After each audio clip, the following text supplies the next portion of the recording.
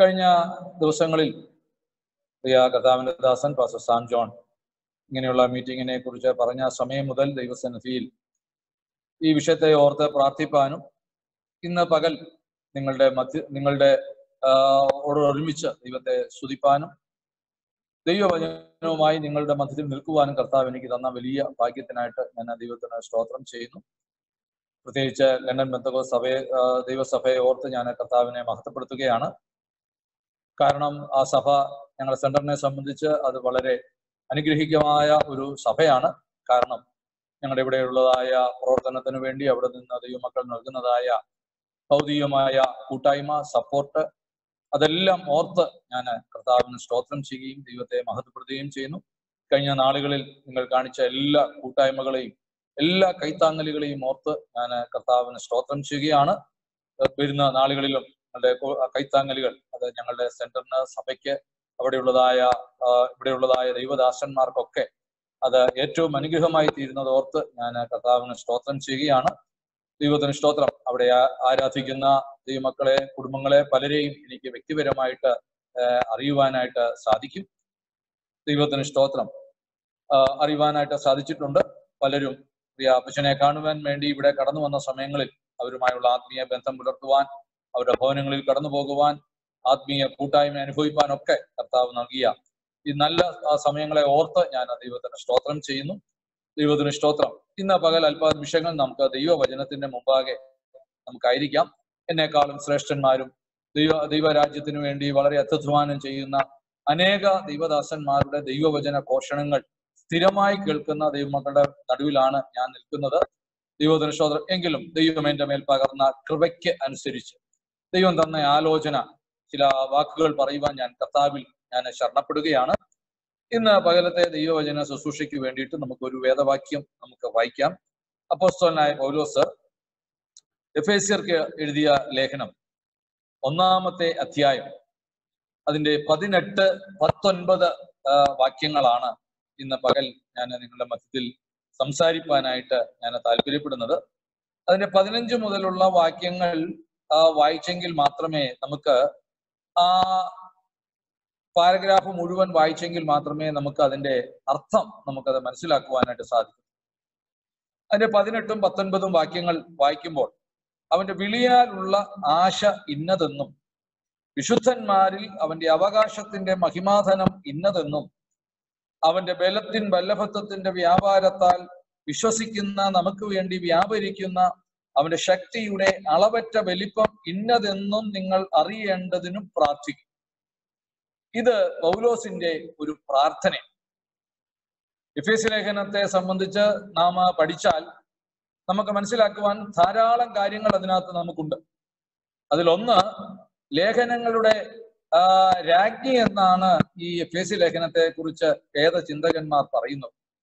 അത് മാത്രമല്ല ഈ എഫ് എസ് സി ലേഖനത്തിന്റെ ഓരോ അധ്യായങ്ങളിലും ഏഴേഴ് കാര്യങ്ങൾ നമുക്ക് വളരെ വ്യക്തമായിട്ട് നമുക്ക് കാണാനായിട്ട് സാധിക്കും. അത് മാത്രമല്ല പൗലോസിന്റെ ശുശ്രൂഷയാൽ ഉടലെടുത്ത ഒരു സഭയാണ് എഫസോസ് സഭ. അതിന്റെ ആരംഭം അപ്പോസോല പ്രവൃത്തി വായിക്കുമ്പോൾ നമുക്കത് കാണുവാനായിട്ട് സാധിക്കുന്നുണ്ട്. പൗലോസ് അപ്പോസ്തലൻ കടന്നു പോകുമ്പോൾ ദൈവത്തിന് സ്തോത്രം. ഹാലുലിയ ചില ശിഷ്യന്മാരെയൊക്കെ താൻ കണ്ടു. അവരോട് നിങ്ങൾ രക്ഷിക്കപ്പെട്ടതാണോ എന്ന് ചോദിച്ചപ്പോൾ അവർ രക്ഷിക്കപ്പെട്ടതാണെന്നും സ്നാനത്തെ കുറിച്ച് ചോദിച്ചപ്പോൾ അത് യോഗനാന്റെ സ്നാനമാണെന്നും ഒക്കെ നമുക്ക് അവർ സംസാരിക്കുന്നതും ദൈവത്തിന് സ്തോത്രം. അവരെ ആ യേശുവിന്റെ നാമത്തിൽ അദ്ദേഹം സ്നാനപ്പെടുത്തുകയും അവരുടെ മേൽ കൈവച്ച് പ്രാർത്ഥിച്ച് അവരുടെ മേൽ പരിശുദ്ധാത്മാവ് വരികയും ആ പന്ത്രണ്ട് പുരുഷന്മാർ അവർ പ്രവചിക്കുകയും ചെയ്തതായി ദൈവവചനത്തിൽ നമുക്ക് കാണാൻ കഴിയുന്നുണ്ട്. ദൈവത്തിന് സ്തോത്രം. അത് മാത്രമല്ല ലേഖനത്തിന്റെ ഏറ്റവും വലിയ പ്രത്യേകത എന്ന് പറയുന്നത് പോലോസപ്പോസോലിന്റെ ശുശ്രൂഷ കാലയളവുകളിൽ ഏറ്റവും കൂടുതൽ നാളുകൾ താമസിച്ച് കർത്താവിന്റെ വേല ചെയ്ത ഒരു സ്ഥലമാണ് എഫസോസ്. ദൈവത്തിന് ഇഷ്ടം. രണ്ട് സ്ഥലങ്ങളിലാണ് പൗലോസ് കൂടുതൽ നാളുകൾ താമസിച്ചിട്ടുണ്ട് ഒന്ന് എഫസോസിൽ താമസിച്ചു. രണ്ടാമത് താൻ താമസിച്ചത് കൊരിന്തയിലാണ് ഒന്നര വർഷത്തോളം താമസിച്ച് താൻ അവിടെ കർത്താവിന്റെ വേല ചെയ്തിട്ടുണ്ട്. ദൈവത്തിന് സ്തോത്രം. ഇന്ന് പകൽ നമുക്ക് ആ വായിച്ച വേദഭാഗത്തേക്ക് നമുക്ക് മടങ്ങി വരാം. ദൈവത്തിന് സ്തോത്രം ഇത് പൗലോസിന്റെ ഒരു പ്രാർത്ഥനയാണ്. തീർച്ചയായും നമ്മുടെ പ്രാർത്ഥനയും പൗലോസിന്റെ പ്രാർത്ഥനയും തമ്മിൽ വലിയ വ്യത്യാസങ്ങളുണ്ട്. ദൈവത്തിന് സ്തോത്രം. നമ്മുടെ പ്രാർത്ഥനകൾ പലതും നമ്മുടെ വ്യക്തിപരമായ ആവശ്യങ്ങൾ ദൈവത്തോട് അറിയിക്കുന്ന പ്രാർത്ഥനയായിട്ട് മാറുമ്പോൾ നമുക്ക് അനുഗ്രഹങ്ങൾ ലഭിക്കണം ഇന്ന ഇന്ന അനുഗ്രഹങ്ങൾ വേണമെന്ന് നമ്മൾ ദൈവത്തോട് പ്രാർത്ഥിക്കുമ്പോൾ ഓരോ സപ്പോസോലന്റെ പ്രാർത്ഥന നമ്മുടെ പ്രാർത്ഥനയിൽ നിന്ന് തികച്ചും വ്യത്യസ്തമാണ്. താൻ പ്രാർത്ഥിക്കുന്ന പ്രാർത്ഥനകളെല്ലാം ദൈവസഭയുടെ അനുഗ്രഹത്തിന് ആത്മാക്കളുടെ വിടുതലിന് അവർ ആത്മീയ വിഷയമായി വർദ്ധിച്ചു വരേണ്ടതിനു വേണ്ടിയിട്ടാണെന്ന് ദൈവവചനം വായിക്കുമ്പോൾ നമുക്കത് കാണുവാനായിട്ട് സാധിക്കുന്നുണ്ട്. ഇവിടെയും പൗലോസ് അപ്പോസ്തോലൻ അവിടെയുള്ളതായ ദൈവജനത്തിനു വേണ്ടി പ്രാർത്ഥിക്കുമ്പോൾ പൗലോസ് അപ്പോസ്തോലൻ പറയുന്നത് ദൈവത്തിന് ഇഷ്ടോത്ര അവരുടെ ഹൃദയത്തിന്റെ ദൃഷ്ടി പ്രകാശിക്കണം. അതിന്റെ മുകളിലുള്ള ആ പതിനെട്ടാം വാക്യത്തിന്റെ മുകളിലുള്ളതായ ആ സെന്റൻസ് വായിച്ചു വരുമ്പോൾ നമുക്ക് അത് അവിടെ കാണുവാനായിട്ട് കഴിയുന്നുണ്ട്. നിങ്ങൾക്ക് തന്നെ കുറിച്ചുള്ള പരിജ്ഞാനത്തിൽ ജ്ഞാനത്തിന്റെയും വെളിപ്പാടിന്റെയും ആത്മാവിനെ തരേണ്ടതിനും നിങ്ങളുടെ ഹൃദയ ദൃഷ്ടി പ്രകാശിച്ചിട്ട് ദൈവത്തിന് സ്തോത്രം. അപ്പോൾ ഒരു ദൈവ പൈതലിന്റെ ജീവിതത്തിൽ അതിലൊരു പ്രകാശിക്കേണ്ടുന്ന ഒരു കാര്യത്തെ കുറിച്ച് പൗലോസപ്പോസ്വലൻ പറയുകയാണ്. നമ്മുടെ ഹൃദയത്തിന്റെ ദൃഷ്ടി പ്രകാശിക്കണം. ദൈവത്തിന് സ്തോത്രം. അപ്പോൾ തീർച്ചയായും ദൈവമക്കളായ നമ്മളുടെ ജീവിതത്തിൽ ഹലലുയ നമുക്ക് കൃപയാൽ രക്ഷിക്കപ്പെടുവാൻ ദൈവകൽപ്പനകൾ അനുസരിപ്പാൻ പരിശുദ്ധാത്മ സ്നാനം പ്രാപിപ്പാൻ ഒക്കെ കർത്താവ് നമ്മുടെ ജീവിതത്തിൽ വലിയ ഭാഗ്യം തന്നതാ. ദൈവത്തിന് സ്തോത്രം. അത് നമ്മുടെ ഹൃദയത്തിന്റെ ദൃഷ്ടി പ്രകാശിച്ചത് കൊണ്ടാണ് ദൈവത്തിന് സ്തോത്രം. നമ്മൾ നോക്കിയാൽ നമുക്ക് കാണാൻ പല കാര്യങ്ങൾ നമുക്ക് അതിനെ കുറിച്ച് ചിന്തിപ്പാനായിട്ട് സാധിക്കും. ദൈവത്തിന് സ്തോത്രം. ഹല്ലേലൂയ. ഈ ലോകത്തിൽ മനുഷ്യർക്ക് അറിവ് ലഭിക്കുന്നത് ആ വ്യക്തി ആ മനുഷ്യന്റെ പഞ്ചേന്ദ്രിയങ്ങൾ വഴിയാണ്. എന്നാൽ ബൈബിളിൽ ആറാമതൊരു ഇന്ദ്രിയത്തെ കുറിച്ചുകൂടെ പറയുന്നുണ്ട്. അതാണ് നമ്മുടെ ഹൃദയത്തിന്റെ ദൃഷ്ടി. ദൈവത്തിന് സ്തോത്രം. നമ്മളെക്കാൾ എത്രയോ അറിവുള്ളവർ എത്രയോ ജ്ഞാനമുള്ളവർ എത്രയോ വിദ്യാഭ്യാസവും ഉന്നതമായ നിലവാരവും പുലർത്തുന്നവർക്ക് ഈ ദൈവവചനത്തിന്റെ യാഥാർത്ഥ്യങ്ങൾ ഗ്രഹിപ്പാനോ അത് മനസ്സിലാക്കുവാനോ കഴിയാതെ അവരുടെ ഹൃദയത്തിന്റെ ആ ദൃഷ്ടി ആ പ്രകാശിക്കാതെ ഇരിക്കുമ്പോൾ കുരുട്ടായിരിക്കുമ്പോൾ ലോകത്തിന് അനുയോജ്യമായ നിലയിൽ അവർ യാത്ര ചെയ്യുമ്പോൾ കൃപയാൽ നമുക്ക് ഹല്ലേലൂയ നമ്മുടെ ഹൃദയത്തിന്റെ ദൃഷ്ടി പ്രകാശിച്ചിട്ട് ഈ വലിയ സത്യം മനസ്സിലാക്കുവാൻ ആത്മാവാകുന്ന കർത്താവിനെ ആത്മാവിൽ ആരാധിക്കുവാനുള്ള വലിയ ഭാഗ്യം സ്വർഗത്തിലെ ദൈവം നമ്മുടെ ജീവിതത്തിൽ നമുക്ക് നൽകി തന്നിരിക്കുകയാണ്. ദൈവത്തിന് സ്തോത്രം. ഇന്ന് സാഹചര്യങ്ങളൊന്നും നമുക്ക് അനുകൂലമല്ല. നാളുകളായി നമ്മളുടെ ആരാധനകൾ സഭായോഗങ്ങൾ ഒരുമിച്ച് കൂടി വന്ന് ആരാധിപ്പാൻ കഴിയാത്ത നിലയിൽ നാം ഓരോരുത്തരും ലോക്ക്ഡൌണിലായിരിക്കുകയാണ് ഇവിടെ ഏതാണ്ട് ഒൻപത് ആഴ്ചകളായി ഇവിടെ ആരാധന ആരാധനയ്ക്കുള്ള സ്വാതന്ത്ര്യം നമുക്കില്ല. എന്നാൽ ദൈവത്തിന് സ്തോത്രം. അനേക ഇടങ്ങളിൽ ദൈവമക്കൾ അവിടെ ഇവിടങ്ങളിലായി കൂടിയിരുന്ന് അവർ ഒരുമിച്ച് അവർ ദൈവത്തെ ആരാധിക്കുകയാണ്. ദൈവത്തിന് സ്തോത്രം. ഹാലലുയ എവിടെയായിരുന്നാലും ഏത് സാഹചര്യത്തിലും നമുക്ക് ദൈവത്തെ ആരാധിപ്പാൻ സ്വർഗത്തിലെ ദൈവം നമുക്ക് ഭാഗ്യം ചെയ്തല്ലോ. അതെല്ലാം ഓർത്ത് ഞാൻ ദൈവത്തിന് സ്തോത്രം ചെയ്യുന്നു. ഹലലുയ്യ വായിച്ച ഭാഗത്ത് ഞാൻ ചില കാര്യങ്ങൾ ഓർമ്മപ്പെടുത്തുവാൻ ഞാൻ താല്പര്യപ്പെടുകയാണ്. ഹൃദയത്തിന്റെ ദൃഷ്ടി പ്രകാശിച്ചാൽ മൂന്ന് കാര്യങ്ങൾ ഈ വചനത്തിൽ പറയുന്നു. ഒന്ന് അവന്റെ വിളിയാലുള്ള ആശ ഇന്നതാണെന്ന് മനസ്സിലാക്കാൻ പറ്റും. രണ്ട് വിശുദ്ധന്മാർക്ക് അവന്റെ അവകാശത്തിന്റെ മഹിമാധനം ഇന്നതാണെന്ന് മനസ്സിലാക്കാനായിട്ട് സാധിക്കും. മൂന്നാമത് വിശ്വസിക്കുന്നവർക്ക് വേണ്ടി വ്യാപരിക്കുന്ന അവന്റെ ശക്തിയുടെ അളവറ്റ വലിപ്പം ഇന്നതാണെന്ന് ഗ്രഹിക്കാനായിട്ട് സാധിക്കും. ഒന്നുകൂടെ ഞാൻ പറയാം. ഒന്ന് അവന്റെ വിളിയാലുള്ള ആശ എന്താണെന്ന് നമ്മുടെ ഹൃദയ ദൃഷ്ടി പ്രകാശിച്ചാൽ നമുക്ക് മനസ്സിലാക്കാം. രണ്ട് വിശുദ്ധന്മാർക്ക് വേണ്ടി അവന്റെ അവകാശത്തിന്റെ മഹിമാധനം ഇന്നതാണെന്ന് മനസ്സിലാക്കാനായിട്ട് സാധിക്കും. മൂന്ന് വിശ്വസിക്കുന്നവർക്ക് വേണ്ടി വ്യാപരിക്കുന്ന അവന്റെ ശക്തിയുടെ അളവറ്റ വലിപ്പം അത് എന്താണെന്ന് മനസ്സിലാക്കാനായിട്ട് സാധിക്കും. ദൈവത്തിന് സ്തോത്രം. ഇന്ന് പകൽ അതിന്റെ ഒന്നാമത്തെ ഭാഗത്തെ ചില കാര്യങ്ങൾ ഓർമ്മപ്പെടുത്തുവാനായിട്ടാണ് ഞാൻ താല്പര്യപ്പെടുന്നത്. ദൈവത്തിന് സ്തോത്രം. ഹാലലൂയ ആ വിളിയെ കുറിച്ച് ആണ് ഇന്ന് പകൽ ഞാൻ സംസാരിക്കാൻ താല്പര്യപ്പെടുന്നത്. ദൈവത്തിന് സ്തോത്രം. ഹാലു ഒന്ന് കൊരിന്തി ലേഖനം ഒന്നാമത്തെ അധ്യായം അതിന്റെ ഇരുപത്തി ആറാമത്തെ വാക്യം വായിക്കുമ്പോൾ നമ്മുടെ വിളി എന്താണെന്ന് നമുക്കത് മനസ്സിലാക്കാനായിട്ട് സാധിക്കും. അവിടെ പറയുന്നുണ്ട് സഹോദരന്മാരെ നിങ്ങളുടെ വിളിയെ നോക്കുവി ലോകാഭിപ്രായ പ്രകാരം ജ്ഞാനികൾ ഏറെയില്ല ബലവാന്മാരേറെയില്ല കുലീനന്മാരും ഏറെയില്ല. ദൈവത്തിന് സ്തോത്രം. താഴോട്ട് ഭാഗങ്ങൾ വായിച്ചു വരുമ്പോൾ നമുക്ക് കാണാൻ കഴിയുന്നുണ്ട് നമ്മുടെ ശ്രേഷ്ഠതയോ നമ്മുടെ യോഗ്യതകളോ ഒന്നും നോക്കിയല്ല ദൈവം നമ്മെ തെരഞ്ഞെടുത്തത്. ദൈവത്തിന് സ്തോത്രം. ദൈവത്തിന് നമ്മോട് കരുണ തോന്നിയത് കൊണ്ട്. ദൈവത്തിന് സ്തോത്രം. അവിടെ പറയുകയാ ലോ ബലം ലോകത്തിൽ ജ്ഞാനികളെ ലജിപ്പിക്കുവാൻ ദൈവം ലോകത്തിൽ ഭോഷത്വമായത് തെരഞ്ഞെടുത്തു. ബലമുള്ളതിനെ ലജിപ്പിക്കുവാൻ ദൈവം ലോകത്തിൽ ബലഹീനമായതിനെ തെരഞ്ഞെടുത്തു. ഉള്ളതിനെ ഇല്ലായ്മയാക്കുവാൻ ദൈവം ലോകത്തിൽ കുലഹീനവും നികൃഷ്ടമായതും ഏതുമില്ലാത്തതിനെയും തെരഞ്ഞെടുത്തു. കാരണം മറ്റൊന്നുമല്ല ദൈവത്തിന് സ്തോത്രം ദൈവസന്നിധിയിൽ ഒരു ജഡവും പ്രശംസിക്കാതിരിക്കേണ്ടതിന് തന്നെ ദൈവത്തിന് സ്തോത്രം കൃപയാല നാം ഇതിനകത്തേക്ക് വരുവാനിടയായി. നമ്മുടെ ശ്രേഷ്ഠത കൊണ്ടല്ല. നമ്മുടെ ഹൽ ഏതെങ്കിലും പ്രത്യേകതകൾ കണ്ടല്ല ദൈവം നമ്മെ വിളിച്ചത്. ദൈവത്തിന് സ്തോത്രം. കൃപയാൽ നമുക്ക് ഇതിനുള്ളിൽ വരുവാൻ ഈ കർത്താവിനെ ആത്മാവിൽ ആരാധിക്കുവാനുള്ള വലിയ ഭാഗ്യം ദൈവം നമ്മുടെ ജീവിതത്തിൽ നമുക്ക് തന്നു. രണ്ട് പത്രോസിന്റെ ലേഖനം ഒന്നാം അധ്യായം അതിന്റെ പത്താമത്തെ വാക്യം വായിക്കുമ്പോൾ നമുക്ക് അവിടെ കാണാൻ കഴിയുന്നുണ്ട്. അല്ലെ നിങ്ങളുടെ തെരഞ്ഞെടുപ്പിനെ നിങ്ങൾ എന്ത് ചെയ്യണം? ഉറപ്പാക്കണം. ദൈവത്തിന് സ്തോത്രം. അവിടെ പറയുന്നുണ്ട് അതുകൊണ്ട് സഹോദരന്മാരെ നിങ്ങളുടെ വിളിയും തെരഞ്ഞെടുപ്പും ഉറപ്പാക്കുവാൻ അധികം ശ്രമിക്കണം. ദൈവത്തിന് സ്തോത്രം. ഹല്ലേലൂയ. ആ വിളിയെ കുറിച്ചുള്ള ഭാഗത്ത് ഒന്ന് രണ്ട് കാര്യങ്ങൾ ഞാൻ വേഗത്തിൽ ഓർമ്മപ്പെടുത്തട്ടെ. സ്തോത്രം നമ്മുടെ വിളി അതെങ്ങനെയുള്ള വിളിയാ? ദൈവജനം വായിച്ചാൽ പല കാര്യങ്ങൾ നമുക്ക് അത് കാണാനായിട്ട് സാധിക്കുന്നു. എബ്രായ ലേഖനം മൂന്നാമത്തെ അധ്യായം അതിന്റെ ഒന്നാമത്തെ വാക്യം വായിക്കുമ്പോൾ നമുക്ക് വളരെ സുപരിചിതമായ വേദവാക്യമാ. ദൈവത്തിന് സ്തോത്രം മൂന്നാമത്തെ അധ്യായം അതിന്റെ ഒന്നാമത്തെ വാക്യം. അതുകൊണ്ട് വിശുദ്ധ സഹോദരന്മാരെ സ്വർഗീയ വിളിക്ക് ഓഹരിക്കാരായുള്ളവരെ ദൈവത്തിന് സ്തോത്രം. ഒന്നാമത്തെ വിളി. ദൈവവചനം നമ്മോട് പറയുകയാണ് ദൈവത്തിന് സ്തോത്രം. ഇത് സ്വർഗീയ വിളിയാണ്. ദൈവത്തിന് സ്തോത്രം. ഹലലുയ അവിടെ വളരെ വ്യക്തമായിട്ട് പറയുന്നു ദൈവത്തിന് സ്തോത്രം. പത്രോ എബ്രായ ലേഖനം മൂന്നാം അധ്യായത്തിൽ പറയുന്നത് അതുകൊണ്ട് വിശുദ്ധ സഹോദരന്മാരെ സ്വർഗീയ വിളി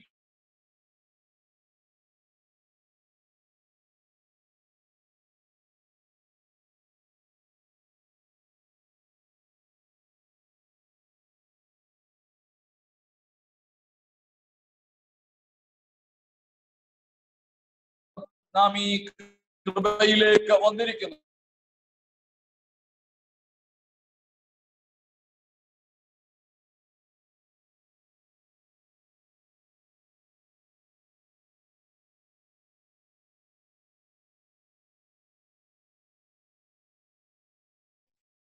ദൈവത്തിന് സ്തോത്രം. തിരുവചനം വായിക്കുമ്പോൾ നമുക്ക് കാണാൻ കഴിയുന്നുണ്ട്. ഹലിയ ആ മോശയെ ദൈവം വിളിക്കുന്നത്. ഏതെങ്കിലും ഒരു വ്യക്തിയെ വിട്ട് വിളിപ്പിക്കുകയല്ല. ദൈവത്തിന് സ്തോത്രം. ഹലലിയ ദൈവം ഉയരത്തിൽ നിന്ന് വിളിക്കുക. മോശേ മോശേ എന്ന്.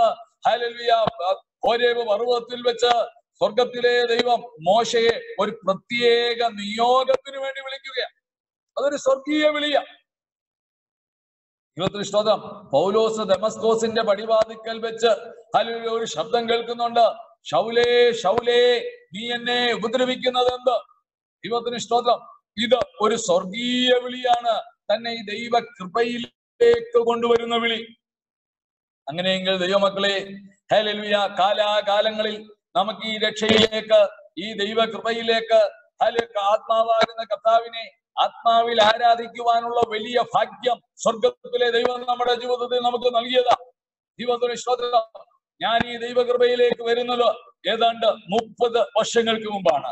ദൈവത്തിന് സ്തോത്രം. അതിനായി ദൈവം ഉപയോഗിച്ചത് ലോക്കൽ പാസ്റ്റർ ആയിരിക്കുന്ന പക്ഷെ ഷിബു നെടുവേലിൽ അവർകളെയാണ്. ദൈവത്തിന് സ്തോത്രം. അദ്ദേഹം എന്നോട് പറഞ്ഞ ദൈവത്തിന്റെ വചനം അതെന്റെ ഹൃദയത്തിൽ ക്രിയ ചെയ്തപ്പോൾ ദൈവത്തിന് സ്തോത്രം. ദൈവത്തിന്റെ മുൻനിർണയ പ്രകാരം ഞാൻ ഒരു ദൈവ പൈതലായി തീരുവാനുള്ള ഭാഗ്യം സ്വർഗത്തിലെ ദൈവം എന്റെ ജീവിതത്തിൽ നമുക്ക് എനിക്ക് നൽകി തന്നു. ഞാൻ പറഞ്ഞതിന്റെ അർത്ഥം ചില ദൈവദാസന്മാരെ ദൈവമക്കളെ ചില പ്രിയപ്പെട്ടവരെ ദൈവം ചില ഉപകരണങ്ങളായി ചിലരുടെ അടുക്കിലേക്ക് അയച്ചു വരാം എന്നാൽ തെരഞ്ഞെടുപ്പും വിളിയും എന്നുള്ളത് അത് ഉയരത്തിൽ നിന്ന് നമുക്ക് ലഭിച്ചതാണ്. ഈ ലോകത്തിലെ ഏതെങ്കിലും ഒരു മനുഷ്യർ നമുക്ക് നൽകി തന്നതല്ല. പിന്നെയോ ഉയരത്തിലെ ദൈവത്തിന് നമ്മോട് കരുണ തോന്നി നമ്മെ പേർ ചൊല്ലി വിളിച്ചതാണ്.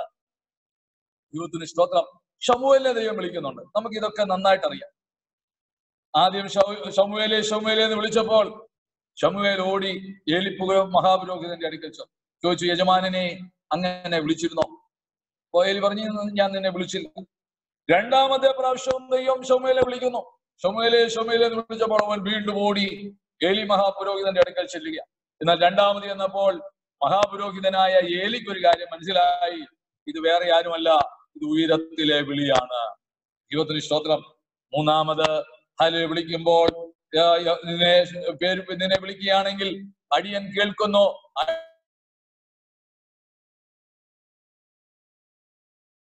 അടിയനോട് സംസാരിക്കണമേ കൊള്ളണമേ എന്ന് ആ പറയാൻ അറിഞ്ഞ് അവനെ മടക്കി അയക്കുകയാണ്. ദൈവത്തിന് സ്തോത്രം. ഞാൻ പറഞ്ഞതിന്റെ അർത്ഥം ഹലലുയ ദൈവം ഓരോരുത്തരെ വിളിക്കുമ്പോൾ അത് ഓരോ നിലകളിലാണ് ദൈവം വിളിക്കുന്നത്. ദൈവത്തിന് സ്തോത്രം. അത് നമ്മുടെ മേലുള്ള വിളിയുടെ ആഴം അത് എത്രയാണോ അതിനനുസരിച്ച് ദൈവം നമ്മോട് ഇടപെട്ടുകൊണ്ട് ണ്ടേയിരിക്കും ദൈവത്തിന് സ്തോത്രം. ആയുർവചനത്തിലും അത് നമുക്ക് അങ്ങനെ പല കാര്യങ്ങൾ പല വ്യക്തികളെ കുറിച്ച് നമുക്കത് കാണാനായിട്ട് സാധിക്കുന്നുണ്ട്. ദൈവത്തിന്റെ വചനം പറയുകയാണ് നമ്മുടെ വിളി അത് സ്വർഗീയ വിളിയാണ്. ദൈവത്തിന് സ്തോത്രം. അടുത്ത രണ്ടാമത്തേത് രണ്ട് തിമത്യോസിന്റെ ലേഖനം ഒന്നാമത്തെ അധ്യായം അതിന്റെ ഒൻപതാമത്തെ വാക്യം വായിക്കുമ്പോൾ നമുക്ക് ആ ഭാഗം നമുക്ക് കാണാനായിട്ട് സാധിക്കുന്നുണ്ട്. രണ്ട് തിമത്യോസ് ഒന്നാമത്തെ അധ്യായം അതിന്റെ ഒൻപതാമത്തെ വാക്യം വായിക്കുമ്പോൾ നമ്മവിടെ കാണാൻ കഴിയുന്നുണ്ട്. അവൻ നമ്മെ രക്ഷിക്കുകയും വിശുദ്ധ വിളി കൊണ്ട് വിളിക്കുകയും ചെയ്തത് നമ്മുടെ പ്രവർത്തികൾ നിമിത്തമല്ല. സർവകാലത്തിനു മുമ്പേ ക്രിസ്തു യേശുവിൽ നമുക്ക് നൽകിയിരിക്കുന്നതും ഇപ്പോൾ മരണം നീക്കുകയും സുവിശേഷം കൊണ്ട് ജീവനും അക്ഷയതയും വെളിപ്പെടുത്തുകയും ചെയ്ത നമ്മുടെ രക്ഷിതാവായ ക്രിസ്തു യേശുവിന്റെ പ്രത്യക്ഷതയാൽ വെളിപ്പെട്ടിരിക്കുന്ന തന്റെ സ്വന്തം നിർണയത്തിനും കൃപയ്ക്കുമൊത്തവണ്ണം അത്രേ. ഇരുപത്തി സ്തോത്രം. രണ്ടാമത്തെ വിളി എന്ന് പറയുന്നത് അത് വിശുദ്ധ വിളിയാണ്. വിശുദ്ധനായ ദൈവമാണ് നമ്മെ വിളിച്ചത്. ദൈവത്തിന് സ്തോത്രം. ലോകത്തിലെ ഒരു മനുഷ്യനല്ല നമ്മെ തെരഞ്ഞെടുത്തത്. ഒരു മനുഷ്യനല്ല നമ്മെ വിളിച്ചു വേർതിരിച്ചത്. ദൈവത്തിന് സ്തോത്രം തിരുവചനം വായിക്കുമ്പോൾ അനേക വേദഭാഗ്യങ്ങൾ അതിനോട് നമുക്ക് കാണുവാനായിട്ട് സാധിക്കുന്നുണ്ട്. വിളിച്ച ആ വിശുദ്ധൻ ഒത്തവണ്ണം വേണം നാം ഓരോരുത്തരും നടക്കുവാൻ. ഒന്ന് ഇത് സ്വർഗീയ വിളിയാണ്. രണ്ട് ദൈവവചനം പറയുന്നു ഇത് വിശുദ്ധ വിളിയാണ്. വിശുദ്ധനായ ദൈവമാണ് നമ്മെ വിളിച്ചത്. ദൈവത്തിന് സ്തോത്രം. ഹലലുയ ലോകത്തിൽ അനേകർ നമ്മെ പേര് വിളിക്കുന്നുണ്ടാകാം. അല്ലെങ്കിൽ പല കാര്യങ്ങൾക്ക് നമ്മെ വിളിക്കുന്നുണ്ടാകാം. എന്നാൽ സ്വർഗത്തിലെ ദൈവം നമ്മെ പേര് ചൊല്ലി വിളിച്ചത് അവന്റെ മക്കളായി നടക്കുവാൻ. ദൈവത്തിന് സ്തോത്രം. അവന്റെ ഇഷ്ടം ചെയ്ത് അവന്റെ ആലോചന കേട്ട് അവന്റെ വചനം അനുസരിച്ച് അവന്റെ കരങ്ങൾ കിണങ്ങിയ ആയുധങ്ങളായി നാം ഓരോരുത്തരും തീരുവാൻ വേണ്ടിയാണ് സ്വർഗത്തിലെ ദൈവം നമ്മെ വിളിച്ചത്. അവൻ വെറുതെ വിളിക്കുകയല്ല തന്റെ സ്വന്തം പ്രാണൻ നമുക്ക് വേണ്ടി നൽകി തന്നാണ് അവൻ നമ്മെ വിളിക്കുന്നത്. അവസാനത്തുള്ളി രക്തം വരെയും നമുക്ക് വേണ്ടി ഊറ്റി തന്നിട്ടാണ്. ഹല്ലേലൂയ. അവൻ നമ്മെ ഓരോരുത്തരെയും വിളിക്കുന്നത്. വില കൊടുത്ത് അവൻ നമ്മെ വിലയ്ക്കു വാങ്ങിയതാണ് എന്നത്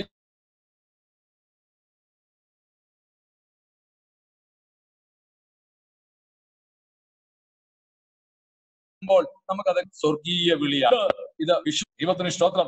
മൂന്നാമത്തെ വിളി ദൈവത്തിന്റെ വചനം വായിക്കുമ്പോൾ നമുക്ക് കാണാൻ കഴിയുന്നുണ്ട് എല്ലാത്തി ലേഖനം. ഒന്നാമത്തെ അധ്യായം അതിന്റെ പതിനഞ്ചാമത്തെ വാക്യം വായിക്കുമ്പോൾ നമുക്ക് ആ ഭാഗം വളരെ വ്യക്തമായിട്ട് നമുക്ക് കാണാൻ കഴിയുന്നുണ്ട് എല്ലാത്തി ലേഖനം. ഒന്നാമത്തെ അധ്യായം അതിന്റെ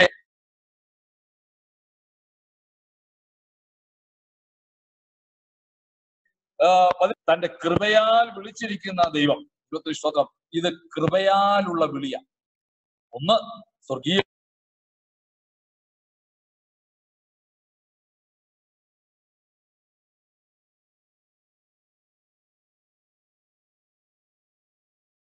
വിളിയാണ് രണ്ട് ഒന്നും വായിച്ചല്ലോ ഒന്ന് കോരിന്ത്യ ലേഖനം ഒന്നാമധ്യായം അതിന്റെ ഇരുപത്തി ആറാമത്തെ വാക്യത്തിൽ പറയുന്നുണ്ട് ബലമുള്ളതിനെ ലജ്ജിപ്പിക്കുവാൻ ബലഹീനമായത് തെരഞ്ഞെടുത്ത ദൈവം.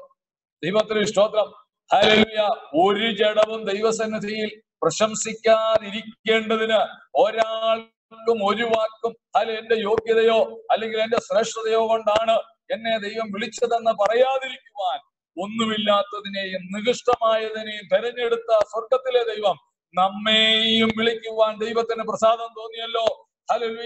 അപ്പോസ്തലൻ ഗലാത്യ ലേഖനത്തിൽ പറയുകയാണ് കൃപയാലാണ് നമ്മെ വിളിച്ചത്. കൃപ എന്ന് പറഞ്ഞാൽ അർഹതയില്ലാത്ത സ്ഥാനത്ത് നമുക്ക് ലഭിക്കുന്നതാണ് ഈ കൃപ. നമ്മുടെ യോഗ്യത നോക്കിയല്ല ദൈവം നമ്മെ വിളിച്ചത്. നമ്മുടെ ശ്രേഷ്ഠത കണ്ടിട്ടല്ല ദൈവത്തിന് സ്തോത്രം മറ്റെന്തെങ്കിലും കാര്യങ്ങൾ നോക്കിയിട്ടല്ല ദൈവം നമ്മെ വിളിച്ചത്.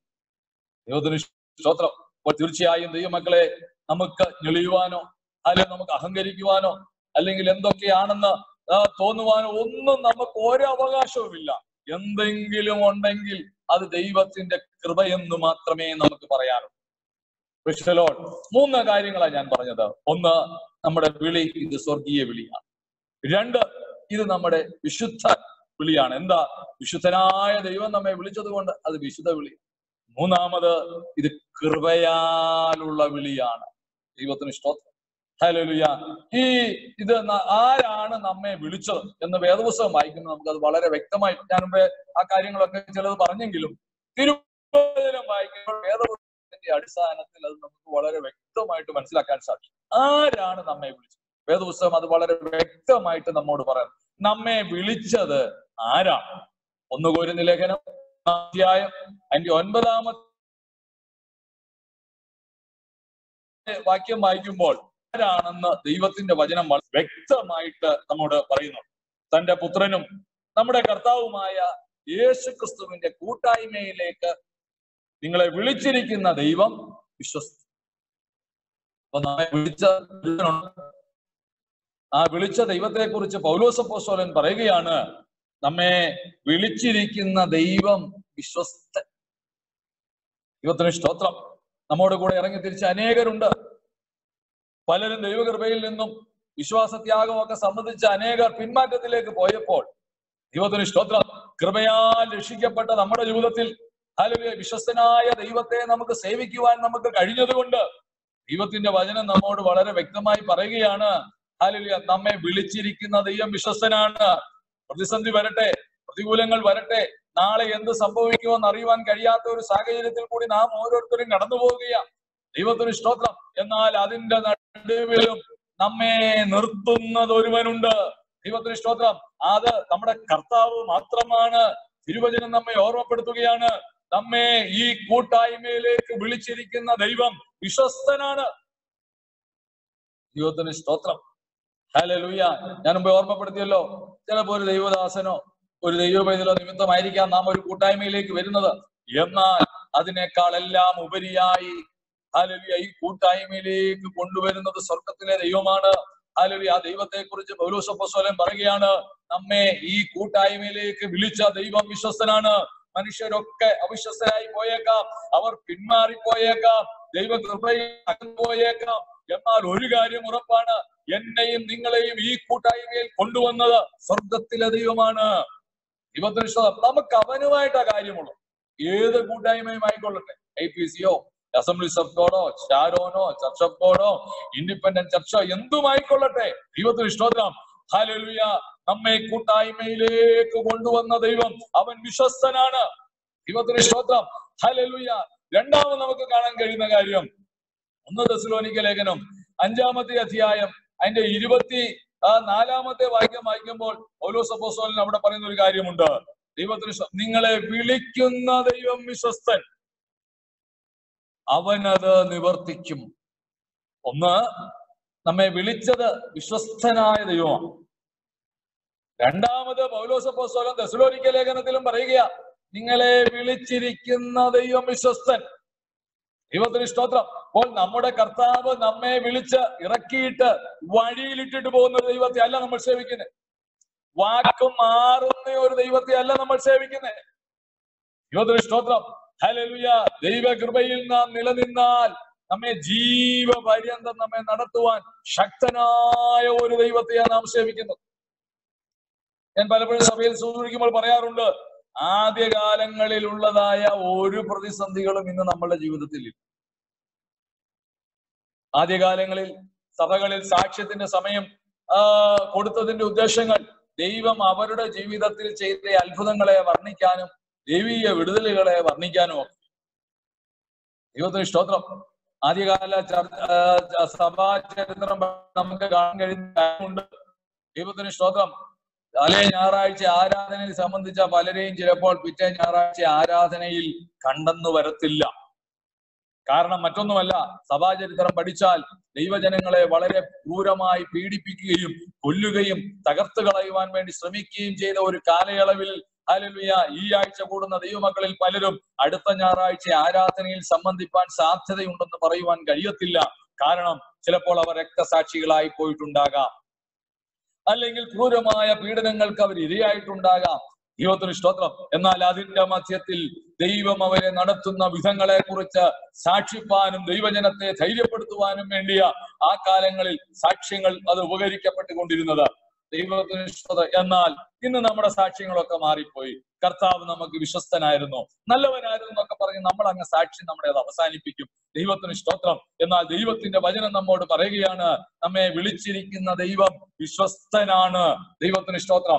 ഹാലല്യ ഒന്ന് തിമത്യോസിന്റെ ലേഖനം വായിക്കുമ്പോൾ നമുക്ക് അവിടെ കാണുവാൻ കഴിയുന്നുണ്ട്. ദൈവത്തിന്. തിമത്യോസിന്റെ ലേഖനത്തിലേക്ക് നമ്മുടെ ശ്രദ്ധയെ നമുക്ക് നോക്കാം.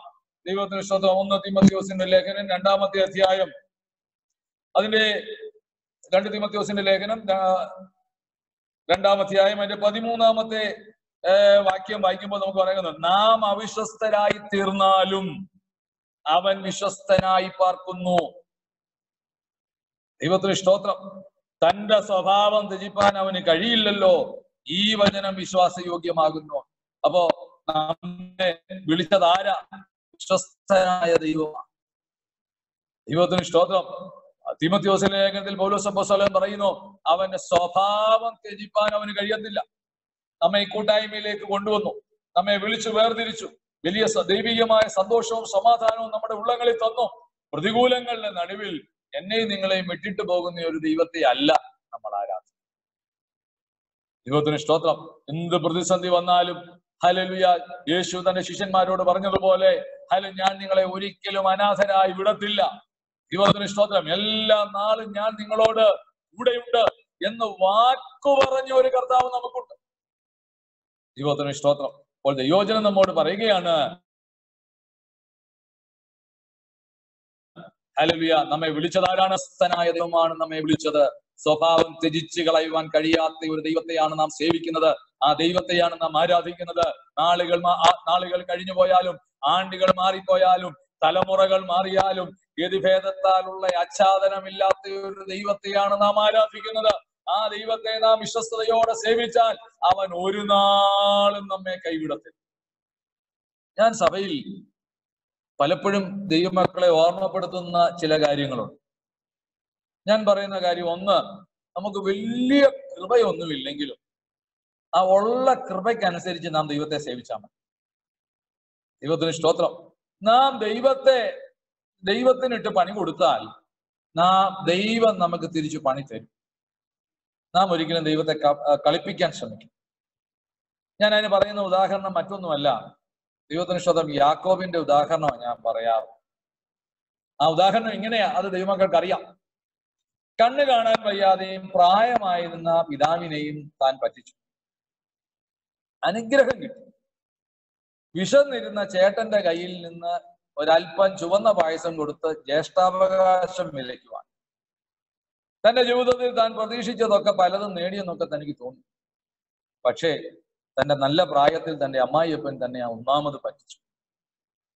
രണ്ട് അമ്മായിയപ്പൻ തന്റെ പ്രതിഫലം പത്ത് പ്രാവശ്യം മാറ്റി. ദൈവത്തിന് സ്തോത്രം. മൂന്ന് തന്റെ മക്കൾ തന്നെ പറ്റിച്ചു. മക്കളെ ദൈവത്തിന് സ്തോത്രം. നമുക്ക് വലിയ കൃപയൊന്നും ഇല്ലെങ്കിലും ഒത്തിരി അന്യഭാഷയിലൊന്നും നമുക്ക് ദൈവത്തെ ആരാധിക്കാൻ സാധിച്ചില്ലെങ്കിലും ദൈവത്തിന് സ്തോത്രം. ഒത്തിരി ഒന്നും പ്രവർത്തിപ്പാനോ സാക്ഷിക്കാനോ ഒന്നും നമുക്ക് കഴിഞ്ഞില്ലെങ്കിലും ദൈവം നമ്മുടെ മേൽ പകർന്നിരിക്കുന്ന കൃപയ്ക്കൊത്ത് നാം നമ്മുടെ ദൈവത്തെ ആരാധിച്ചാൽ മതി. ദൈവ വഴികളിൽ നാം യാത്ര ചെയ്താൽ മതി. ഒരിക്കലും ദൈവത്തിന് സ്തോത്രം. നമ്മുടെ ഹലലുയ വേറെ ഒരു സ്വഭാവം നമ്മുടെ ജീവിതത്തിൽ ഉണ്ടാകരുത്. ഹലലുയ ദൈവത്തെ നാം നിലകൊള്ളണം. ദൈവത്തിന് സ്തോത്രം.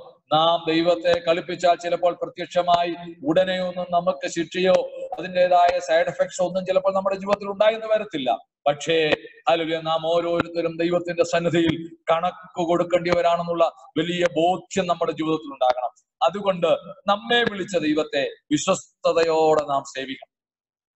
ദൈവത്തിന് സ്തോത്രം. ഹലലുയ അപ്പം ദൈവത്തിന്റെ വചനം വായിക്കുമ്പോൾ നമുക്ക് കാണാൻ കഴിയുന്നുണ്ട് നമ്മുടെ വിളി എങ്ങനെയാണെന്ന് നമ്മൾ ചിന്തിച്ചു. രണ്ട് നമ്മെ വിളിച്ചത് ആരാണെന്ന് ചിന്തിച്ചു. മൂന്ന് എവിടെ നിന്നാ വിളിച്ചതെന്ന് ദൈവവചനം നമ്മോട് പറയുന്നു.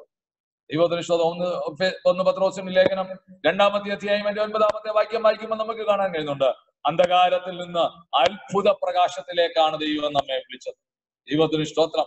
അതിൽ ദൈവവചനം വായിക്കുമ്പോൾ അനേക വേദഭാഗങ്ങൾ നമുക്ക് അതിനോടുള്ള ബന്ധത്തിൽ നമുക്ക് കാണുവാനായിട്ട് നമുക്ക് സാധിക്കുന്നുണ്ട്. ദൈവത്തിന് സ്തോത്രം.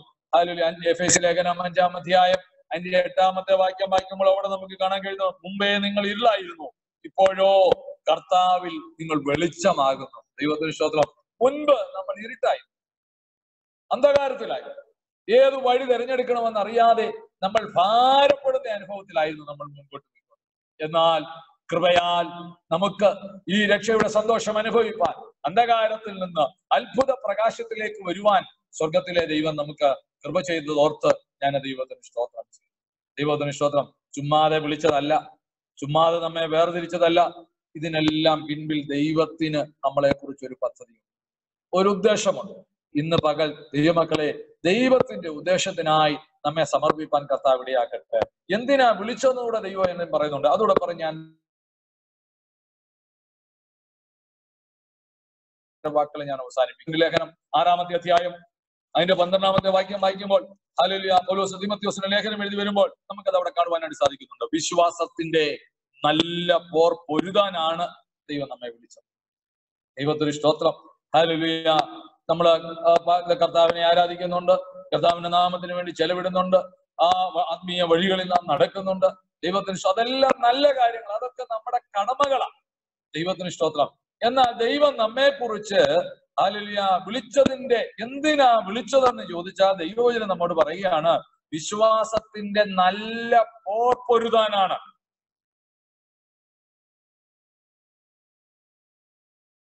ദൈവത്തിന് ഇഷ്ടം കൊള്ളാനാണ് ദൈവം നമ്മെ വിളിച്ചത്. ദൈവത്തിന് സ്തോത്രം. അപ്പോൾ തീർച്ചയായും ദൈവമക്കളായ നമ്മളുടെ ജീവിതത്തിൽ ഹാലലിയ കർത്താവിനെ ആരാധിപ്പാൻ ഇറങ്ങി തിരിച്ചതായ ദൈവമക്കളോട് പറയുകയാണ് വിശ്വാസത്തിന്റെ നല്ല പോർ പൊരുതുവാൻ വേണ്ടിയിട്ടാണ് ദൈവം നമ്മെ വിളിച്ചത്. ദൈവത്തിന് സ്തോത്രം. ഓലോസപ്പോസോലെ നമ്മൾ തിരുവചനത്തിൽ നമുക്ക് കാണാൻ കഴിയുന്നുണ്ട്. താൻ ഈ ദൈവകൃപയിൽ വന്നതിന് താൻ കടന്നുപോയതായ സന്ധികൾ ആ ആപങ്ങൾ അല്ലെ പ്രതിബന്ധങ്ങൾ എന്തൊക്കെയാണെന്ന് നമ്മൾ തിരുവചനം വായിക്കുമ്പോൾ നമുക്കത് മനസ്സിലാക്കാനായിട്ട് സാധിക്കുന്നുണ്ട്. അതെല്ലാം തന്റെ വിശ്വാസത്തിൽ വിശ്വാസം പിടിച്ചു നിൽക്കുവാൻ വേണ്ടിയിട്ട്. പോലീസ് റോമാലേഖനത്തിൽ എഴുതിയിട്ടുണ്ട് കഷ്ടതയ്ക്കോ നഗ്നതയ്ക്കോ ആപത്തിനോ വാളിനോ ഒന്നിനും എന്നെ ഈ ദൈവ സ്നേഹത്തിൽ നിന്നും വേർതിരിപ്പാൻ കഴിയില്ല. കാരണം താൻ കടന്നുപോയ സാഹചര്യങ്ങൾ അത്രമാത്രം പ്രതിസന്ധികൾ നിറഞ്ഞ സാഹചര്യങ്ങളിലൂടെയാണ് പോയത്. ദൈവത്തിന് മരണത്തെ മുഖാമുഖമായി കണ്ട സന്ദർഭങ്ങൾ.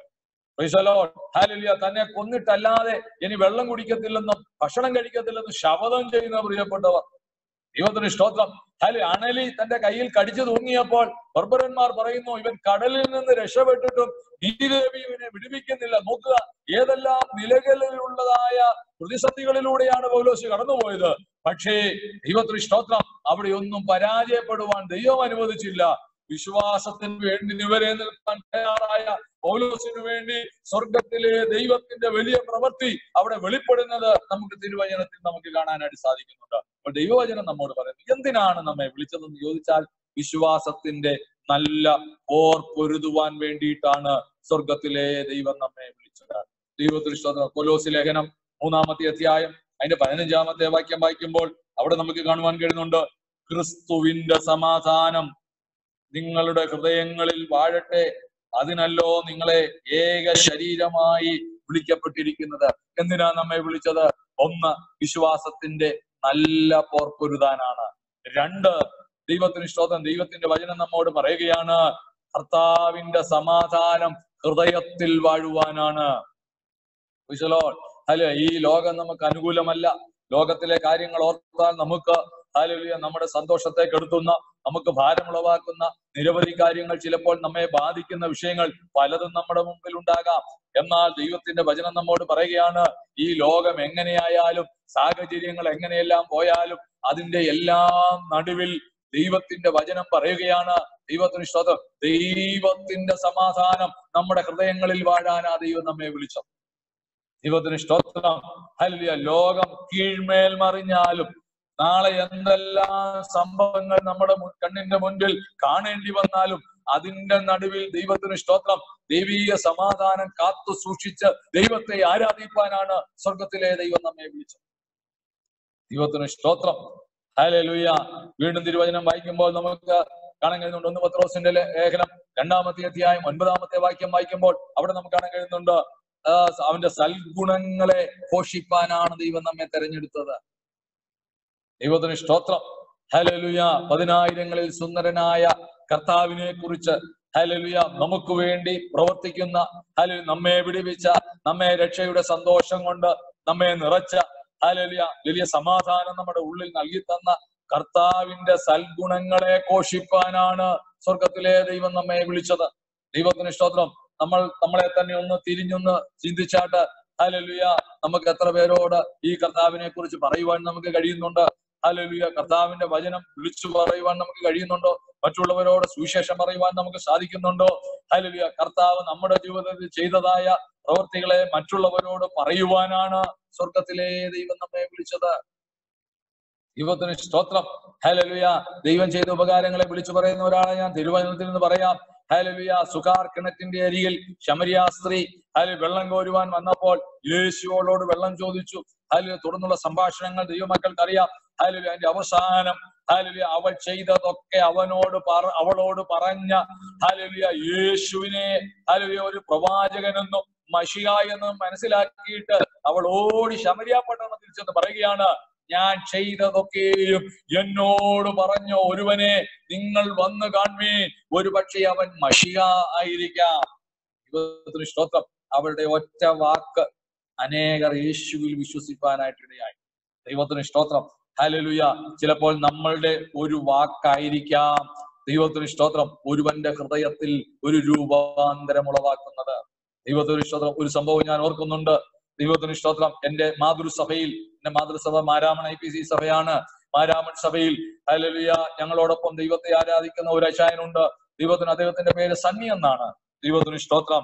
എന്റെ പിതാവ് ഒരു ഭവനത്തിന്റെ പ്രതിഷ്ഠയ്ക്ക് പോയപ്പോൾ ഹലലുയ ഈ സഹോദരനെ കണ്ടപ്പോൾ എന്റെ പിതാവ് ആ സണ്ണിച്ചായനോട് പറഞ്ഞു സണ്ണി അദ്ദേഹം ഒരു വലിയ മദ്യപാനിയായ ഒരു മനുഷ്യൻ. എല്ലാം തകർന്ന് എല്ലാവരാലും കൈവിടപ്പെട്ട ഒരു മനുഷ്യൻ. ദീർഘനാളുകൾ വിദേശ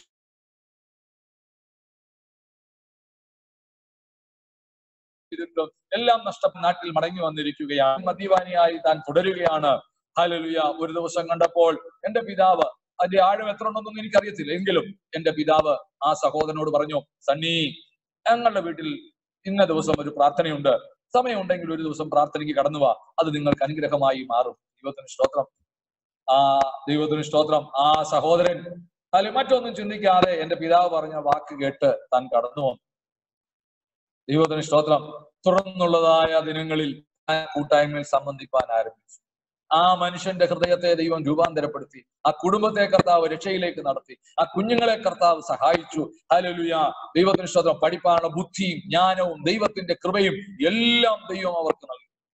ദൈവത്തിന് സ്തോത്രം. ഞാൻ പറയട്ടെ ഇന്ന് കർത്താവിനാൽ അനുഗ്രഹിക്കപ്പെട്ട ഒരു കുടുംബമായി ഞങ്ങളുടെ മാതൃസഭയിൽ ആ കുടുംബമുണ്ട്. ദൈവത്തിന് തലമുറകളെ എല്ലാം ദൈവം സഹായിച്ചു. മുൻപോട്ട് പോകുവാൻ ഒരു വഴിയും ഇല്ലാതിരുന്ന സ്ഥാനത്ത് ശ്രേഷ്ഠമായ വഴികൾ കർത്താവ് അവർക്ക് ഒരുക്കി നൽകി.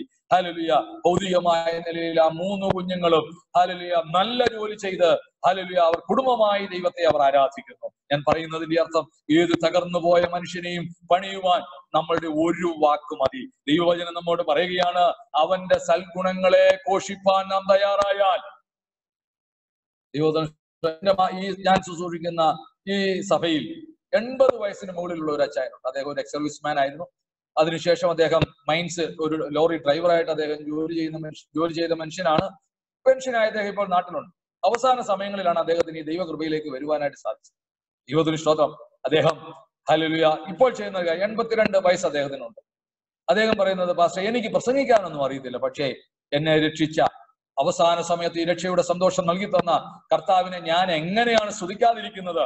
അതുകൊണ്ട് ഹലുലിയ ആ മഹത്വം മറ്റുള്ളവരോട് പറയുവാൻ വേണ്ടി അദ്ദേഹം എവിടെയെല്ലാം ട്രാക്ടർ കൊടുക്കുവാൻ അദ്ദേഹത്തിന് കഴിയുമോ എവിടെ പോയാലും അദ്ദേഹത്തിന്റെ പാനിന്റെ പോക്കറ്റിൽ ഒരു പത്ത് ട്രാക്ട് കാണും. അദ്ദേഹം പറയാറുണ്ട് പത്തെണ്ണം കൊടുത്താൽ ചിലപ്പോൾ പാസ്റ്ററെ രണ്ടെണ്ണമേ വായിക്കത്തുള്ളൂ. ഒരുവന്റെ ഹൃദയത്തിലെങ്കിലും ഒരു രൂപാന്തരം ഉണ്ടായാൽ അതല്ലേ ഏറ്റവും ശ്രേഷ്ഠമായ കാര്യം. ദൈവത്തിന് സ്തോത്രം. ഞാൻ വാക്കുകളെ ഞാൻ ഇവിടെ അവസാനിപ്പിക്കാനായിട്ട് ഞാൻ താല്പര്യപ്പെടുകയാണ്. ദൈവത്തിന് സ്തോത്രം. ദൈവദിനം പറയുകയാണ് സൽഗുണങ്ങളെ കോഷിപ്പാനാണ് ദൈവം നമ്മെ വിളിച്ചു വേർതിരിച്ചത്. ഒന്ന് പത്രോസിന്റെ ലേഖനം രണ്ടാമത്തെ അധ്യായം അതിന്റെ ഇരുപത് ഇരുപത്തിയൊന്ന് വാക്യങ്ങൾ വായിക്കുമ്പോൾ അവിടെ പത്രോസ് അപ്പോസ്തലൻ പറയുന്ന ഒരു വേദഭാഗമുണ്ട്. ദൈവത്തിന് സ്തോത്രം. അവനു വേണ്ടി കഷ്ടം സഹിപ്പാനാണ് ദൈവം നമ്മെ വിളിച്ചത്. ദൈവത്തിന് സ്തോത്രം. ഹലലുയ അപ്പോ ദൈവത്തിന് നമ്മെ വിളിക്കുന്നതിന്റെ ഒക്കെ പിൻപിൽ ഉദ്ദേശങ്ങളുണ്ട് ഒരു വശത്ത് നമ്മെ അനുഗ്രഹിപ്പാനാണെങ്കിലും നമ്മെ വിളിച്ചതിന്റെ പിൻപിലുള്ള ദൈവിക പദ്ധതികൾ ഇതൊക്കെയാണ്. ഒന്ന് വിശ്വാസത്തിന്റെ നല്ല പോർ പൊരുതുവാൻ രണ്ട് ദൈവത്തിന് സ്തോത്രം നമ്മെ കൂട്ടായ്മയിലേക്ക് കൊണ്ടുവരുവാൻ. മൂന്ന് ദൈവികമായ സമാധാനം നമ്മുടെ ഹൃദയങ്ങളിൽ വാഴുവാൻ. നാല് കർത്താവിന് വേണ്ടി കഷ്ടം സഹിപ്പാൻ. ദൈവത്തിന് അതേ ലേഖനം തന്നെ മൂന്നാം അധ്യായം അതിന്റെ പത്തൊൻപതാമത്തെ വാക്യം വായിക്കുമ്പോൾ ഒൻപതാമത്തെ വാക്യം വായിക്കുമ്പോൾ നമുക്കത് അവിടെ കാണാൻ കഴിയുന്നുണ്ട്. ദൈവത്തിന് സ്തോത്രം. ദോഷത്തിന് ദോഷവും ശകാരത്തിന് ശകാരവും പകരം ചെയ്യാതെ നിങ്ങൾ അനുഗ്രഹം അനുഭവിപ്പാൻ വിളിക്കപ്പെട്ടതുകൊണ്ട് കൊണ്ട് അനുഗ്രഹിക്കുന്നവരായിരിപ്പി ദൈവത്തിന് സ്തോത്രം. അപ്പോ നാലാമത് നമ്മെ ദൈവം വിളിച്ചത് അനുഗ്രഹം പ്രാപിപ്പാൻ വേണ്ടിയിട്ടാണ് ദൈവം നമ്മെ വിളിച്ചത്. ദൈവത്തിന് സ്തോത്രം. ഹലലുയ അവിടെ കൊണ്ട് അത് അവസാനിച്ചില്ല. ദൈവം നമ്മെ വിളിച്ചതിന്റെ പരമവിളിയുടെ ഒരു ഒരു പരമവിളിയുണ്ട്. അതെന്താണെന്നൂടെ പത്രോസ് അപ്പോസ്തലൻ പറയുന്നുണ്ട്. ഒന്ന് പത്രോസിന്റെ ലേഖനം അഞ്ചാമത്തെ അധ്യായം അതിന്റെ പത്താമത്തെ വാക്യം. അവിടെ ദൈവവചനം പറയുന്നു നിത്യ തേജസ് അനുഭവിപ്പ എന്നാൽ അല്പകാലത്തേക്ക് കഷ്ടം സഹിക്കുന്ന നിങ്ങളെ ക്രിസ്തുവിൽ തന്റെ നിത്യ തേജസ്സിനായിട്ട് വിളിച്ചിരിക്കും. ദൈവത്തിന് സ്തോത്രം. അപ്പോൾ തീർച്ചയായും ദൈവവചനം പറയുന്നു ഈ ഭൂമിയിൽ ദൈവം നമ്മെ വിളിച്ചത്. ഹലലുയ ഒന്ന് വിശ്വാസത്തിന്റെ നല്ല പോർ പൊരുതാനായിട്ടാണ്. രണ്ട് അവന്റെ കൂട്ടായ്മയിലേക്കാണ് ദൈവം നമ്മെ വിളിച്ചത്. മൂന്ന് ദൈവിക സമാധാനം നമ്മളുടെ ഹൃദയങ്ങളിൽ വാഴ ദൈവത്തിന് സ്തോത്രം. ഹലലുയ നാല് അവന്റെ സൽഗുണങ്ങളെ പോഷിപ്പാൻ. അഞ്ച് അവന് വേണ്ടി കഷ്ടം സഹിപ്പാൻ. ദൈവത്തിന് സ്തോത്രം. ഹലലുയ അടുത്ത ദൈവനം പറയുന്നു. നിത്യമായ തേജസ് പ്രാപിപ്പാൻ ആ ദൈവം നമ്മെ ഈ ഭൂമിയിലുള്ള അല്പ നാളിലെ കഷ്ടം മാറും. നമ്മെ ഹലു അവൻ ചേർക്കുന്ന ഒരു സുദിനം നമ്മുടെ മുമ്പിലുണ്ട്. അവിടെ പറയുകയാണ് അല്പകാലത്തേക്ക് കഷ്ടം സഹിക്കുന്ന നിങ്ങളെ ക്രിസ്തുവിൽ തന്റെ നിത്യ തേജസ്സിനായിട്ട് അവൻ വിളിച്ചിരിക്കും. അപ്പൊ ഈ കഷ്ടതയെല്ലാം മാറുന്ന ഒരു സമയമാണ്. ഇന്നത്തെ ഈ ബുദ്ധിമുട്ട് മാറുന്ന ഒരു സമയമാണ്. സാഹചര്യങ്ങൾ ഒന്നും നമുക്ക് അനുകൂലമല്ലാത്ത എല്ലാം പ്രതികൂലമായ സാഹചര്യം. നാളെ കുറിച്ച് ഓർത്താൽ ഭാരപ്പെടുവാനുള്ള ധാരാളം സാധ്യതകൾ നമ്മുടെ മുമ്പിലുണ്ട്. എന്നാൽ അതിന്റെ എല്ലാം മധ്യത്തിൽ സ്വർഗത്തിലെ ദൈവം നമ്മെ ഹലുയ അത്ഭുതകരമായ ദൈവം നമ്മെ നടത്തും. തിരുവചനം വായിക്കുമ്പോൾ നമ്മോട് പറയുന്നു നിത്യ തേജസ്സിനായിട്ടാണ് നമ്മെ വിളിച്ചത്. ഇവിടെയുള്ളതായ കഷ്ടങ്ങൾ പൗലോസപ്പോസ്വലിന്റെ ഭാഷയിൽ പറഞ്ഞാൽ കൊരുന്ന ലേഖനത്തിൽ പൗലോസപ്പോസ്വലൻ പറയുന്നുണ്ട് നൊടി നേരത്തേക്കുള്ള ലഘുവായ കഷ്ടം. ദൈവത്തിന് സ്തോത്രം. വെളിപ്പെടാനുള്ള തേജസ് വിചാരിച്ചാൽ ഈ കാലത്തിലെ കഷ്ടങ്ങൾ സാരമില്ല. ദൈവത്തിന് സ്തോത്രം. അപ്പോൾ നിരവധി വാക്യങ്ങൾ നിരവധി വാക്കുകൾ നമ്മെ ധൈര്യപ്പെടുത്തുന്ന നമ്മെ ശക്തീകരിക്കുന്ന നിരവധി കാര്യങ്ങൾ നമുക്ക് ദൈവവചനം വായിക്കുമെന്ന് ഒരിക്കലായി നമ്മളായ പ്രകാശനമുണ്ടല്ലോ. അത് ഒരിക്കലും നമ്മൾ നഷ്ടമാക്കരുത്. നമുക്ക് ലഭിച്ച വെളിച്ചം ഒരിക്കലും ഇരുളായി പോകരുത്. അത് ഇരുളാകുവാൻ നമ്മൾ അനുവദിക്കരുത്. നമ്മുടെ ഹൃദയത്തിന്റെ ദൃഷ്ടി പ്രകാശിച്ചത് കൊണ്ട് നമുക്ക് ഈ വലിയ സന്തോഷം നമ്മുടെ ഉള്ളിൽ കിട്ടിയത്. വെറുതെ ദൈവം നമ്മെ വിളിച്ചതല്ല വിളിച്ച ദൈവം വിശ്വസ്തൻ. അന്ത്യം വരെ നടത്താൻ അവൻ വിശ്വസ്തന. ഹാലു നമ്മെ ജീവപര്യന്തം നടത്തുവാൻ അവൻ ശക്തനായ ദൈവമാ. സ്തോത്രം. ഹാലു എന്തിനാ വിളിച്ചതെന്ന് ചോദിച്ചാൽ വിശ്വാസത്തിന് വേണ്ടി നിലനിൽക്കുവാനാണ് ദൈവം നമ്മെ വിളിച്ചത്. ദൈവത്തിന് സ്തോത്രം. ഹാലുയ നിത്യ തേജസ്സിലെത്തിക്കാൻ. ദൈവത്തിന് സ്തോത്രം. ഹാലു പൗലോസപ്പോസോലൻ തന്റെ അവസാന ആ ഭാഗ നാളുകളിൽ ഹാലുലിയ തീമത്യോസിന്റെ ലേഖനത്തിൽ എഴുതിയ വാക്കുകൾ നമുക്ക് ശ്രദ്ധിക്കാൻ നമുക്ക് മനസ്സിലാക്കുവാനായിട്ട് സാധിക്കുമല്ലോ. തീമത്യോസിന്റെ ലേഖനത്തിൽ നാം തന്നെ തീമത്യോസിന്റെ ലേഖനത്തിൽ പറയുന്നുണ്ട് ഹലലുയ ഞാൻ നല്ല പോർ പൊരുതി ഓട്ടം തികച്ചു ഞാൻ എന്റെ വിശ്വാസം കാത്തു.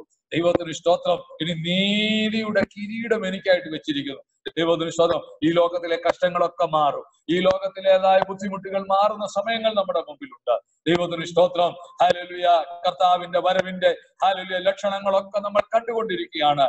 അതിന്റെ നടുവിൽ ഹല്ലേലൂയ ദൈവീയ വിശുദ്ധിയെ കാത്തു സൂക്ഷിച്ച് ഹലിയ ദൈവകൃപയിൽ മുന്നേറുവാൻ ദൈവത്തിന്റെ കരങ്ങളിൽ നമ്മളെ തന്നെ നമുക്ക് ദൈവസന്നിധിയിൽ നമുക്ക് സമർപ്പിക്കാം. ഞാൻ വാക്കുകളെ ഞാൻ ഇവിടെ അവസാനിപ്പിക്കട്ടെ. ഹല്ലേലൂയ. നമ്മുടെ ഹൃദയദൃഷ്ടി പ്രകാശിപ്പാൻ ഈ വലിയ സന്തോഷം അനുഭവിപ്പാൻ ഈ ദൈവകൃപയിൽ നിലനിൽക്കുവാൻ സ്വർഗത്തിലെ ദൈവം നമുക്ക് കൃപ ചെയ്തല്ലോ. അത് നമ്മുടെ ജീവിതത്തിൽ അത് അനുഗ്രഹമായി തീരട്ടെ. അന്ത്യം വരെ നിലകൊള്ളുവാൻ. ഏത് പ്രതിസന്ധി വന്നാലും ഏത് പ്രതികൂലം വന്നാലും അതിന്റെ നടുവിൽ നാം ക്ഷീണിച്ചു പോകാതെ ദൈവമുഖത്തേക്ക് മാത്രം നോക്കി നമ്മുടെ ജീവിതയാത്ര നയിപ്പാൻ ദൈവത്തിന്റെ ആത്മാവ് നമ്മെ ഓരോരുത്തരെയും സഹായിക്കട്ടെ. ഒരു നിമിഷം നമുക്ക് ദൈവസന്നിധിയിൽ നമുക്ക് പ്രാർത്ഥിക്കാം. ഞങ്ങളെ സ്നേഹിക്കുന്ന ഞങ്ങളുടെ നല്ല ദൈവമേ സുഖീയ പിതാവെ ഞങ്ങൾ വീണ് ദൈവസന്നിധിയിലേക്ക് ഞങ്ങൾ അടുത്തു വരുന്നു. ഇത്രത്തോളം സമയം ഞങ്ങളെ നീ തല സൂക്ഷിച്ചതിനായിട്ട് സ്തോത്രം. ദൈവവചനം കേൾക്കുവാൻ ഞങ്ങളെ നീ ഒരുക്കിയതിനായിട്ട് സ്തോത്രം. ഞങ്ങളുടെ ഹൃദയദൃഷ്ടി പ്രകാശിക്കപ്പെട്ടവരായി. ഹലുയ നിനക്ക് വേണ്ടി അന്ത്യം വരെ നിലകൊള്ളുവാൻ കഥാവെ ഞങ്ങളെ ഓരോരുത്തരെയും അങ്ങ് സഹായിക്കണമേ. വിളിച്ച ദൈവം വിശ്വസ്തനാണല്ലോ. ഈ ദൈവത്തിന്റെ കൂട്ടായ്മയിലേക്കാണല്ലോ ഞങ്ങളെ വിളിച്ചത്. ഞങ്ങളുടെ മുമ്പിൽ വെച്ചിരിക്കുന്നത് അല്ലെങ്കിൽ നല്ല നല്ല ഓട്ടം ഓടുവാനാണല്ലോ നീ ഞങ്ങളെ വിളിച്ചത്. ദൈവത്തിന് ഇഷ്ടം ദൈവത്തിന്റെ സമാധാനം ഞങ്ങളുടെ ഉള്ളിൽ വാഴാനാണല്ലോ ഞങ്ങളെ വിളിച്ച് വേർതിരിച്ചത്. അതിനേക്കാൾ ഉപരി നിത്യമായ സന്തോഷത്തിലേക്ക് ഞങ്ങളെ കൊണ്ടുപോകാനാണല്ലോ നീ വിളിച്ചത്. അതെല്ലാം ഓർത്ത് ഞങ്ങൾ അങ്ങേക്ക് സ്തോത്രം ചെയ്യും. ഇത്രത്തോളം സമയം ഞങ്ങളെ നീ സഹായിച്ചതിനായിട്ട് സ്തോത്രം. ലണ്ടൻ ചർച്ചിനെ അങ്ങയുടെ കരങ്ങളിൽ ഏൽപ്പിച്ച് ഞങ്ങൾ പ്രാർത്ഥിക്കുന്നു. അവിടെ സൂക്ഷിക്കുന്ന കത്തുദാസനായ കുടുംബത്തിനാണ് അവിടെയുള്ള എല്ലാ ദൈവജനത്തിനായിട്ട് സ്തോത്രം. എന്റെ വാക്കുകളെ കേട്ട എല്ലാ പ്രിയപ്പെട്ടവരെയും ദൈവകരങ്ങളിൽ സമർപ്പിച്ച് ഞങ്ങൾ പ്രാർത്ഥിക്കുന്നു. ദൈവകൃപയിൽ അന്തിമ വരെ നിലകൊള്ളുവാൻ നീ അവരെ ഓരോരുത്തരെയും സഹായിക്കണം. കരങ്ങളിൽ സമർപ്പിക്കുന്നു. പ്രാർത്ഥന അങ്ങ് കേട്ടതിനായിട്ട് സ്തോത്രം. യേശുവിന്റെ നാമത്തിൽ തന്നെ. ആമേൻ. ആമേൻ.